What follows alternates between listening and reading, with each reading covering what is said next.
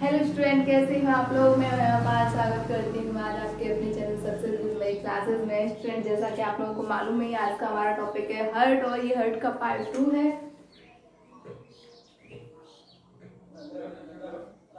Part one में हमने cover किया था हर्ट क्या है what is the heart and what is the function of it इसके क्या कार्य है, हृदय क्या है और हृदय की जितनी भी पार्ट हैं, उस सबको मैंने इंट्रोड्यूस करवाया था आप लोगों को फ़र्स्ट पार्ट में, ताकि मैं इस वीडियो में आप लोगों को करवाऊँगी। आज मालूम है क्या? प्रोसेसिंग ब्लड प्रोसेसिंग यानी जो हर्ट होता है, जिस चीज़ के लिए इसकी इम्पोर्टेंसी होती है तो वो कार्य क्या है? तो वो सब कुछ आज इसमें करवाया जाएगा। यानी हमें मालूम है, लोग हमसे कहते हैं, रक्त कैसा है? अशुद्ध रक्त होता है, शुद्ध रक्त होता है। क्या अशुद्ध रक्त उसमें कूड़ा करकट मिला हुआ होता है? क्या गंदगी धूल मिट्टी मिली होती? है क्या कैसे अशुद्ध होता है? फिर किस तरीके से वो शुद्ध हो जाता है? तो वो सारी की सारी जितनी भी प्रोसेसिंग है आपकी, यानी अशुद्ध रक्त से लेकर शुद्ध रक्त तक की जितनी भी कहानी है कौन कौन से उसमें पार्ट भाग लेते हैं क्या क्या प्रोसेशन होती है, वो सब कुछ आप आज इस वीडियो में कवर करने वाले बिल्कुल अच्छी तरह यहाँ पर एक चीज़ मैं आप लोगों को बता दूँ, यहाँ से क्वेश्चन तो आपके कॉम्पिटेटिव एग्ज़ाम में आते ही हैं। अगर मैं बात करूँ टेंथ और ट्वेल्थ वाले स्टूडेंट के लिए तो उनमें बायो जो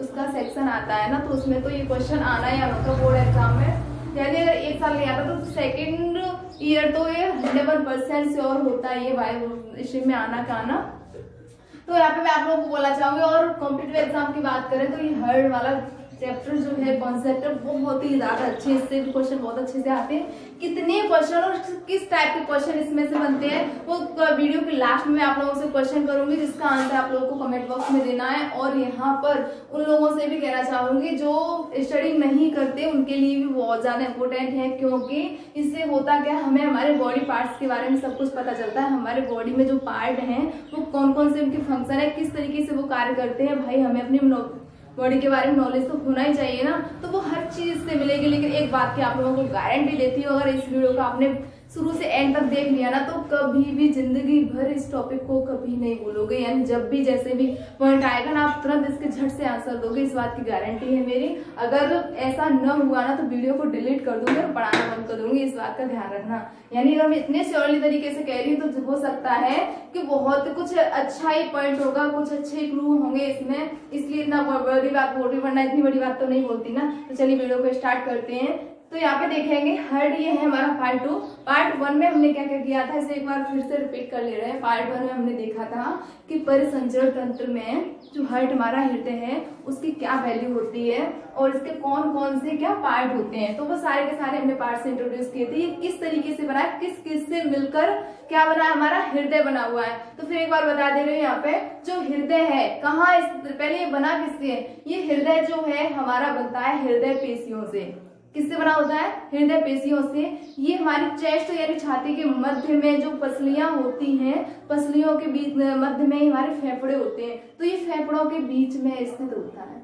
कहा स्थित होता है? फेफड़ों के बीच में। पेशियों के बने कोटर में, यानी पेशियों के बने कोटर में ये स्थित होता है बॉक्स की तरह। पेशियाँ जो इसके लिए क्या कार्य करती है? बॉक्स की तरह कार्य करती है, बॉक्स में रखा हुआ होता है। ठीक है ना?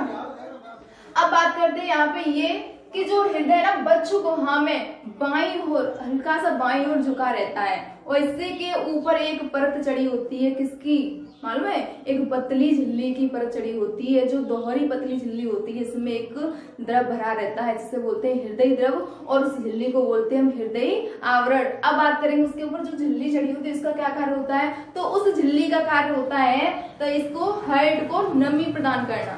ठीक है? क्या प्रदान करना है इसे? नमी प्रदान करना ताकि ये अपनी गति अच्छे से क्लियर कर पाए अपनी गति में इसकी में कोई रुकावट बिल्कुल भी ना आए। ठीक है? अब बात करेंगे और इसकी सुरक्षा भी करता बाहरी आघातों से। भाई हर्ट जो होता है बहुत ही सॉफ्ट होता है। तो इसे बाहरी आघातों से बचाने के लिए भाई आ, कोई भी पीपल है लोग काम काट तो करते ही रहते तो झटके तो लगते ही रहते हैं ना। तो किसी भी झटके धक्के से बचाने के लिए यानी बचाने का कार्य करता है। कौन करता है हमारा? एक तो पहले हमारे हृदय आवरण कार्य करता है जो मोटी झिल्ली पतली झिल्ली जो चढ़ी होती है, वो कार्य करती है। प्लस ऊपर से पेशियों के बने कोटर में रहता है, तब तो थोड़ा ज़्यादा प्रेशर पड़ता है तो उस को कौन दबा लेता है आपकी? पेशियाँ। और यहाँ पर इसकी अगर काट के, अनुलंब काट में देखते हैं ना, एक और चीज़ बता दो आपका तो आप लोगों ने कैसे हर्ट इस तरीके से पढ़ते हो एक्चुअल में हर्ट की वो तो सेप होती ही नहीं यहाँ पर हर्ट की सेप ये है। और मालूम है कौन सी सेप है? ये है आपका अनुलंब काट। क्या है आपका? अनुलंब काट यानी जब हेड रखा, मान लीजिए कोई एप्पल है, हम एप्पल को काटते हैं, ठीक है? तो इस बीच से जो लंबा लंबा काटते हैं ना तो उसका एक पार्ट है ये। ये पार्ट का ही मैंने डायग्राम क्यों बनाया? इससे क्या होना, आपको हर पार्ट दिखेगा, इसमें कौन कौन से पार्ट होते हैं, किस तरीके से ब्लड की प्रोसेसिंग चलती है, यानी किस भाग से किस भाग में हमारा ब्लड जाता है, कैसे उसका शुद्धिकरण होता है, इसमें हर चीज़ में आप लोगों को क्लियर दिखेगा। क्लियर मैं पॉइंट टू पॉइंट आपको समझाने वाली हूँ। अगर आप लोगों ने वीडियो को, यानी वीडियो को, चैनल को सब्सक्राइब नहीं किया तो प्लीज़ चैनल को सब्सक्राइब कर लीजिए, ताकि ऐसी ही मज़ेदार वीडियो का नोटिफिकेशन आपको इजीली मिलता रहे। ठीक है? तो चलिए बढ़ते हैं यहाँ पे। तो इससे जब अनुलंब काट में काटते हैं ना तो एक चीज़ पहले मैं इसकी बता दूँ, जो हर्ट होता है हमारा, जो हमारा हर्ट होता है ना, ऊपर का हर्ट का ऊपर का भाग चौड़ा होता है, और नीचे का भाग कैसा होता है? कीलदार कैसा होता है? दुकोना होता है, जैसे कि आप लोगों को दिख ही रहा होगा ना ये। कोनेदार होता है? ऊपर का भाग कैसा होता है? हमारा चौड़ा होता है। अगर पीछे के भाग की बात करो, इसके पीछे के भाग की, भाई कोई भी चीज़ होगी, उसके चार भाग होंगे कि नहीं होंगे? देखो, जैसे मान लीजिए की लेती हूँ। आगे, पीछे, दाया, बाया। दिख रहा है ना? तो इसका हम देखेंगे ऊपर ऊपर नीचे। तो देखो, यहाँ इसका ऊपर का भाग चौड़ा होता है, नीचे का भाग कैसे होता है? पतला होता है त्रिकोना टाइप से होता है। और इसका जो पीछे का भाग होता है, चपटा होता है। कैसे? इस तरीके से चपटा होता है। और जो आगे का भाग होता है, कैसा होता है? उभरा होता है। जैसे कि मैं आप लोगों को बताऊँ, कैसे उभरा होता है? जैसे देखो, ये मेरा पीछे का भाग है। ये मेरा आगे से, मान लीजिए, हर्ट है। तो देखो, कैसे होगा? यू पीछे से ये स्लिप है। दिख रहा है ना? इधर देखो, इधर ये उभरा हुआ है। तो इस तरीके से आगे का भाग इसका कैसा होता है? उभरा हुआ होता है और पीछे का भाग जैसा आप लोगों को दिख रहा होगा ना, ये चपटा हुआ है। इस तरीके से इसकी शेप कैसी होती है? चपटी होती है। अब बात करेंगे इसे हम अलम काट से। अगर हम इसे काटते हैं तो एक भाग इधर वाला जो भाग होता है, इसका दाया भाग कहलाता है, इधर वाला भाग कहलाता है? हमारा बाया भाग कहलाता है। अब इसे अगर बीच से काट के देखते हैं ना तो ऊपर का भाग हमारा क्या बाया निकल जाता है? इधर का? हाँ। और देखो, इधर के जितने होते हैं, जैसे कि इधर से हमने काटा तो एक भाई इधर भाई बाया है, एक भाग इधर कैसा है? हमारा दाया है। क्लियर हो गया ना? यानी इधर दाया, इधर बाया है। अब ऊपर के जितने, अगर ऐसे हम काटते तो ऊपर का इतना जो भाग है ना, इतना इतना। जो दिख रहा होगा, इतना इतना। तो ये ऊपर का पार्ट होता है हमारा अलिंद और नीचे का पार्ट क्या होता है हमारा मिले ठीक है? और जो इधर जो ये चीज़ दिख रही है ना ये तो जो रेड कलर वाली है ना, ये वेन्स है हमारी वेन्स यानी सिराएँ है। सिराएँ और धमनी पड़ी होंगी ना आप लोगों ने, सिराए और धमनी तो जो ब्लैक कलर की है ना तो ये आपकी क्या है? सिराएँ, धमनी दिख रही है ना। हमारे क्या हाथों में होती है, इससे ब्लड निकाला जाता है ब्लड बहता है जो ब्लू कलर की हमें दिखती है। क्या ब्लू कलर की वो सॉरी जो हमें ग्रीन कलर की दिखती है, क्या ग्रीन कलर की होती है? बिल्कुल भी ग्रीन कलर की दिखती है, हमें दिखती है। तो ये कैसे कलर की होती है, ये भी आप लोगों को बताएँगे। तो यहाँ पे देखते हैं, जितनी भी ब्लैक कलर की है तो ब्लैक कलर की सभी क्या है आपकी? धमनियाँ हैं। और जो इतनी ये रेड कलर की दिख रही है ना आपको रेड कलर की तो ये सारी की सारी आपकी क्या है? सिरा है। एक चीज़ समझ लीजिए, और धमनी और सिराओं में सिराओं में बहता है हमारा शुद्ध रक्त। शुद्ध बहता है, बिल्कुल भी नहीं बहता है। शिराओं में बहता है हमारा अशुद्ध रक्त। कैसा रक्त? अशुद्ध। ठीक है? अब बात करते हैं धमनियों में। तो धमनियों में बहता है हमारा शुद्ध रक्त। लेकिन यहीं पर थोड़ा एक रोड पॉइंट आया था, वो ये कि सिराओं में तो वैसे बेसिकली हमारा बहता है अशुद्ध रक्त और धमनियों में बहता है शुद्ध रक्त। लेकिन जो फुफ्फुस सिरा होती है, उसमें बहता है शुद्ध रक्त और फुफ्फुस धमनी में बहता है हमारा अशुद्ध रक्त। क्लियर हो गया होगा ना? तो हमने सभी पार्ट आपको समझा दिए। इधर क्या है? दाया अलिंद है आपका। दाया निलय है। बाया अलिंद बाया निलय। और मैंने ये सारे के सारे पार्ट अगर इसमें थोड़े से कम समझ में आ रहा हूँ तो इसका ना पूरा का पूरा कॉन्सेप्ट फ़र्स्ट पार्ट में आपको करवा दिया। उसे अच्छे से देख लीजिए। समझ में आ जाएगा। वीडियो ज़्यादा लॉन्ग ना हो जाए, इसलिए मैं ब्लड प्रोसेसिंग की पूरी की पूरी प्रक्रिया आप लोगों को समझाती है बस आप इतना समझ लीजिए। एक चीज़ बिल्कुल भी मत भूलना। पार्ट कितने हो जाते हैं? इसके टोटल यानी हर के पार्ट कितने हो जाते हैं? वैसे तो मुख्य होते हैं, दो होते हैं आपके, अलिंद और निलय। ऊपर के अलिंद, नीचे की निलय। लेकिन अगर उन्हें भी काट के देखते हैं ना तो आपके टोटल फोर मिलाकर कितने हो जाते हैं? चार हो जाते हैं। चार कौन कौन से हो जाते हैं आपके? दाया अलिंद, दाया निलय। बाया अलिंद, बाया निलय, ठीक है? धमनी शिराएँ धमनी में बहता है अशुद्ध रक्त वो शुद्ध रक्त और शिराओं में बहता है अशुद्ध रक्त लेकिन फुफ्फुस धमनी में कैसा बहता है? अशुद्ध रक्त अपोजिट हो जाता है और फुफ्फुस शिराओं में कैसा बहता है? शुद्ध रक्त तो चीज़ आप लोगों ने क्लियर कर ली होंगी। चलिए बढ़ते हैं आपकी प्रोसेसिंग के बारे में। तो देखिए, आप लोगों को तो मालूम है भाई ब्लड हमारा क्या होता है? अशुद्ध रक्त होता है। अब अशुद्ध कैसे हो जाता है? हम्म? अशुद्ध कैसे हो जाता है? तो अशुद्ध से लेकर शुद्ध रक्त की आपको पूरी प्रक्रिया यहाँ बताने वाली है। देखिए, जो अशुद्ध रक्त होता है अशुद्ध रक्त क्या होता है? जय धमनिया सिराएँ क्या करती है? चीज़ समझ लीजिए। धमनियों में बहता है शुद्ध रक्त सिराओं में बहता है शुद्ध तो अशुद्ध रक्त कहाँ से आता है? तो शरीर के विभिन्न भागों से, या मैं श्रेयांक डेफिनेशन आप लोगों को बता दे रही हूँ। शरीर के विभिन्न भागों से रक्त को हृदय में लाने के लिए जो, लाने का कार्य जो वाहिनियाँ करती हैं, वही शिराएँ कहलाती हैं। यानी शरीर के विभिन्न भागों से हृदय में रक्त को लाने का जो वाहिनियाँ कार्य करती है, वही वाहिनियाँ आपकी नदियाँ क्या कहलाती हैं? शराय सराय कहलाती हैं। जैसे आपको दिख रहा होगा ना, ये हर्ट में लेकर आ रही है। अब धमनिया क्या है? धमनिया यानी हृदय से। अभी तो देखो, वो शरीर के भावों से लेकर आ रही थी लेकिन यहाँ पे क्या है? हृदय से शुद्ध रक्त को शरीर के विभिन्न भागों तक पहुँचाने का जो कार्य करती हैं, जो वाहिनियाँ कार्य करती हैं, वही वाहिनियाँ आपकी क्या कहलाती हैं? धमनी कहलाती हैं। क्योंकि तो धमनी में कैसा रक्त बहता है? शुद्ध रक्त बहता है। तो देखिए शरीर के विभिन्न भागों से एरो दिख रहे होंगे ना आपको? एरो दिख रहे हैं, इसका मतलब क्या है? इधर से रक्त जाता है, किस शरीर के विभिन्न भागों में? लेकिन ये रेड कलर के एरो दिख रहे हैं ना, इसका मीन ये है इनमें रक्त आता है कहाँ से? शरीर के विभिन्न भागों से। अब कैसा रक्त आता है? इनमें आता है अशुद्ध रक्त। तो देखिए महाशिरा द्वारा यानी जब छोटी छोटी सभी महाशिरा आपको सिराएँ दिख रही होगी ना शिरा ये है, आपकी सिरा ये है शिरा ये है, इधर ये सिराएँ। तो ये सिराएँ क्या करती हैं? सिराएँ लेकर आते है। अब ये शरीर से लेकर आएँगे, ठीक है? ये कहाँ पर लेकर आके इकट्ठे जो महाशिरा होगी, उसमें आके छोड़ देती हैं। अब महाशिरा में छोड़ देती हैं। अब होता क्या है यहाँ पे? महाशिरा में रक्त आते आते इधर आगे ये रक्त, जैसे महाशिरा में आता है तो ये रक्त किसमें पहुँचने लगता है? तुरंत ही दाएँ अलिंद में आता है। किसमें आता है? दाएँ अलिंद में। तो जब जैसे ही रक्त से दाएँ अलिंद भर जाता है, जैसे ही अशुद्ध रक्त से दाया अलिंद भर जाता है तो वैसे ही क्या संकुचित होने लगता है। क्या होने लगता है? इसमें संकुचित होने लगता है। और ये इसमें जैसे ही वो भर जाता है तो अपना जो रक्त है अशुद्ध रक्त, ये दाएँ निलय में ट्रांसफ़र कर देता है। किसमें भेज देता है? दाएँ निलय में। एक बात का ध्यान रखना अलिंद से निलय में रक्त आता है, लेकिन निलय से कभी भी रक्त वापस नहीं जाता है अलिंद में, ठीक है? यानी ये कपाट ऐसे होते हैं कि सिर्फ़ रक्त आ सकता है, वापस लौट के जा नहीं सकता, ठीक है? तो यहाँ पे क्या होगा? जैसे दाएँ अलिंद भर जाता है संकुचित हो जाता है तो अपने ब्लड को किसमें भेज देता है? अशुद्ध ब्लड को। कौन सा रक्त होता है? अशुद्ध रक्त। रक्त होता है तो ठीक है, ये किसमें भेज देता है? ये दाएँ अलिंद में भेज देता है। किसमें भेज रहा है ये? दाएँ अलिंद में। देखो एरो के निशान दिख रहे होंगे ना, ये आपका दाया अलिंद है। अब दाएँ अलिंद में आ गया। अब भाई, ये भी भर जाएगा जब रक्त आएगा तो ये भी भर जाता है। तो जब ये भर जाता है तो ये भी संकुचित होने लगता है। तो जब ये संकुचित होता है तो ये भी अपने रक्तों को क्या?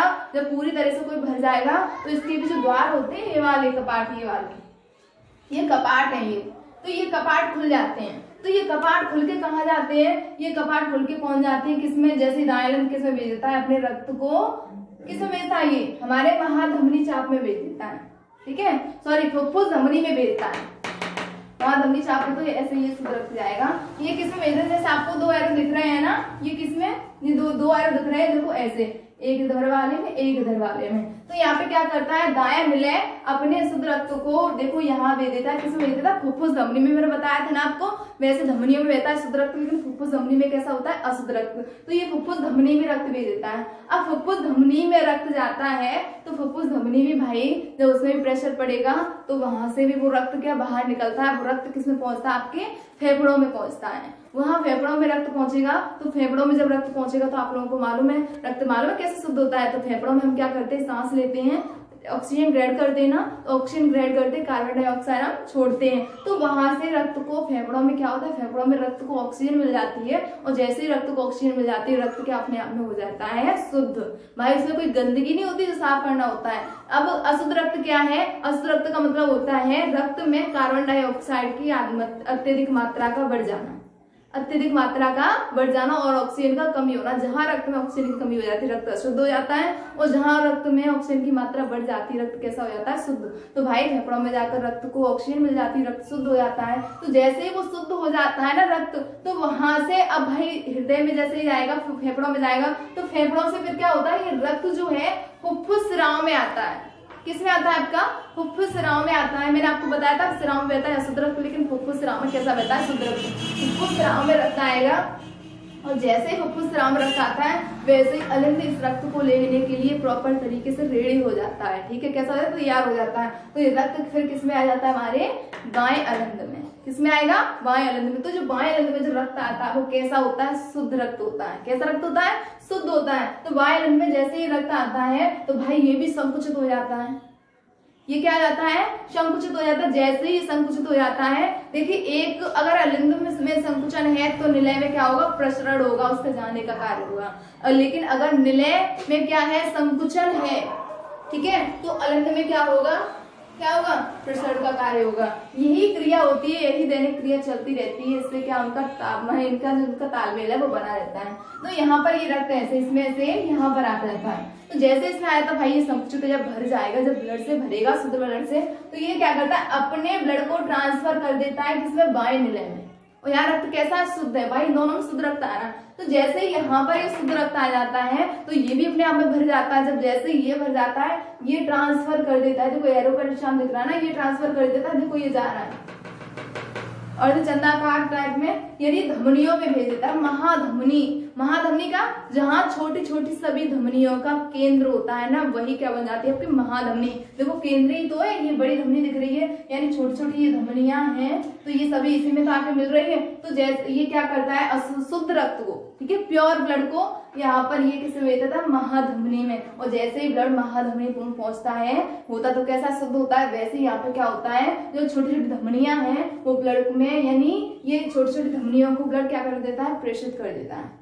ठीक है? इन्हें देने का कार्य करता है प्रेशर पड़ता है ना फिर तो यहाँ पर ये छोटी छोटी धमनियाँ क्या करती है? ये रक्त को ले जा रही है। देखो, ले जाने का कार्य कर रही है। दिखना है ना आपको? एरो का एरो यानी इस तरीके दिख रहा है बाहर जा रहा है। तो ये धमनियाँ क्या करती हैं? ये रक्त को फिर से शरीर के विभिन्न भागों में पहुँचा देती हैं। कैसे पहुँचा देती है? शरीर के विभिन्न भागों में। कैसे रक्त को? शुद्ध रक्त को। तो वहाँ पे शुद्ध रक्त कैसा हुआ था? ऑक्सीजन से। अब जैसे ही रक्त वहाँ जाता है, शरीर के विभिन्न भागों में जाएगा। मान लीजिए मेरे यहाँ पे रक्त आया। ठीक है?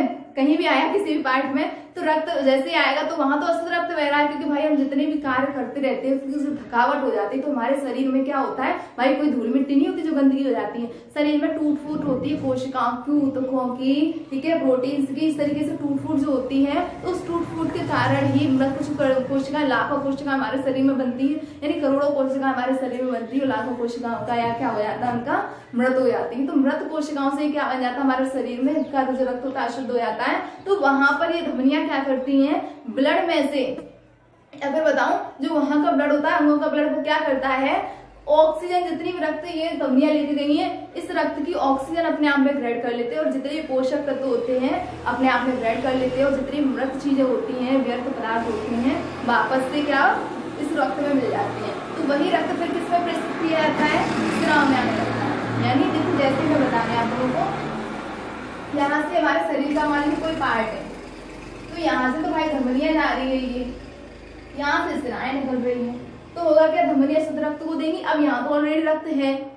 रक्त है कि नहीं है? अब मैं आप लोगों को बताऊँ, ठीक है? तो यहाँ तो रक्त है, पूरा भरा हुआ है। अब शुद्ध रक्त यहाँ से जाएगा तो जैसे ही शुद्ध रक्त जाएगा तो अशुद्ध रक्त अपने आप में बाहर निकलेगा कि नहीं निकलेगा। भाई क्या एक लीटर पानी में एक लीटर भरा यानी एक लीटर बर्तन में एक लीटर पानी भरा हुआ है, उसमें और भरेंगे तो क्या होगा? भर जाएगा, नहीं भरेगा ना? जो पहले का होगा, वो क्या होगा? निकलता जाएगा। निकलेगा कि नहीं निकलेगा? तो वैसे यहाँ से शुद्ध रक्त सिराव में निकल जाता है और ये शुद्ध रक्त में पहुँच जाता है, ठीक है? और जैसे ये शुद्ध रक्त सिराव में पहुँच जाता है तो वैसे फिर सिराएँ सभी इकट्ठे होकर, सभी सिराएँ किसमें प्रेषित कर देती है अपने रक्त को शुद्ध रक्त को महासिरा में। फिर से महासिरा किसमें भेज देती है? दाएँ में। फिर से यहाँ पे आता है, फिर से इधर जाता है, फिर से इधर से इधर होकर पूरी की पूरी प्रोसेसिंग चलती रहती है। तो यही एक बार, यानी शरीर के विभिन्न अंगों से रक्त अशुद्ध रक्त के आने तक उनमें ध्वनियों द्वारा शुद्ध रक्त पहुँचने तक की जो प्रक्रिया होती है, उसे परिसंचरण तंत्र कहते हैं। ठीक है? परिसंचरण की क्रिया प्रक्रिया कहते हैं, परिसंचरण कहते हैं। अब परिसंचरण में, यानी एक परिसंचरण में लगभग 25 से 30 सेकंड का टाइम लगता है। कितना टाइम लगता है? 25 से 30 सेकंड। में चौके होंगे ना अभी बताने में इतना टाइम लग गया, लेकिन इसमें वाकई में इतना टाइम लगता है, बहुत कम टाइम लगता है हमें पता नहीं होता। अब बात करते हैं इसके फ़ंक्शन क्या है, इसके क्या कार्य है। तो हृदय के क्या कार्य हैं? अगर क्वेश्चन आता है, हृदय के क्या कार्य है? ट्वेल्थ क्लास में टेंथ में बोर्ड एग्ज़ाम है। तो देखते हैं हृदय के क्या कार्य करते हैं। तो हृदय क्या करता है? भाई, ब्लड का, यानी भाई झटके के साथ ब्लड को शरीर के विभिन्न भागों तक पहुँचाने का कार्य करता है, क्योंकि जब परिसज्जन की क्रिया होती है तो उसमें बहुत जल्दी जल्दी प्रेशरिंग यानी जल्दी जल्दी पूरी प्रक्रिया होती है प्रोसेसिंग होती है तो उसमें धक्के के साथ में रक्त को पहुँचाने का कार्य करता है, जिससे पूरी की प्रक्रिया, पूरी प्रक्रिया आसानी से चलती रहती है। ठीक है तो आप लोगों को समझ में आ रहा होगा ना, कैसा लगा आज का आपको यानी आपको ये वाला वीडियो? प्लीज़ मुझे कमेंट करके ज़रूर बताएँ। मैं आप लोगों के लिए इतनी मेहनत कर रही थी, आप लोग कमेंट तो कर ही सकते हो। और एक और चीज़ ये है कि यहाँ पर मैं ऐसे ही आप लोगों के लिए मज़ेदार वीडियो लेकर आती रहूँगी। हाँ अगर आप लोगों की कोई क्वेश्चन है, आप लोगों को किसी भी बायोलॉजी में इंग्लिश में, किसी भी कंटेंट में कोई प्रॉब्लम होती है तो प्लीज़ मुझे कमेंट बॉक्स में कमेंट करके बताएँ। मैं आप लोगों के लिए वही वीडियो अवेलेबल करवा दूँगी नेक्स्ट डे तो कोई भी संकोच ना करें। आपको जैसे भी कंफ्यूजन है, आप मुझे दीजिए। मैं आपकी जो भी थोड़ी सी भी प्रॉब्लम होगी ना, आपको कंफ्यूजन होगी, जो भी आपका टॉपिक होगा। तो उस टॉपिक को ना पूरा बाकायदा यहाँ पर एक्सप्लेन करके आप लोगों को बताने वाली हूँ। तो आप लोगों को ये समझ में आई होगी पूरी की पूरी क्या प्रोसेस है इसकी, ठीक है ब्लड कैसे शुद्ध होता है, कैसे शुद्ध होता है, ठीक है? समझ में आ रहा होगा ना? तो वीडियो कैसी लगी प्लीज़ मुझे कमेंट बॉक्स में कमेंट करके बताएँ वीडियो को अंत तक देखने के लिए। आपका बहुत बहुत धन्यवाद। और हाँ लास्ट में कहूँगी वीडियो को शेयर करना तो बिल्कुल भी मत भूलिए। आप लोग प्लीज़ मेरी इतनी से तो कर ही सकते हो। अगर आप लोग मुझे सहयोग करना चाहते हो, आप लोग मुझसे सहमत हो तो प्लीज़ एक काम करिए, यहाँ से ऐसे डिसाइड कर लीजिए कि आपको हर एक पर्सन को जो भी इस वीडियो को देख रहा है ना, अपना टारगेट बना लीजिए। वो अगले पाँच लोगों के पास इस वीडियो को शेयर करेगा। कहने का मीन्स ये है, मान लीजिए, गीता देख रही हो कोई, गीता, सीता कोई भी तो गीता का काम क्या होगा? वो अपने फाइव फ्रेंड्स के पास मैंने इस वीडियो को शेयर करेगी और उनसे चैनल को सब्सक्राइब करने के लिए। अगर इस तरीके से बढ़ता रहा ना तो सच में बता रही हूँ, एक दिन बहुत जल्दी, यानी बहुत ही जल्दी कम टाइम में आप लोगों की के लिए मेरे सब्सक्राइब पूरे हो जाएँगे और मैं आप लोगों के लिए और भी ज़्यादा अच्छी और वीडियो अवेलेबल करवाती रहूँगी। ठीक है? वीडियो देखने के लिए धन्यवाद।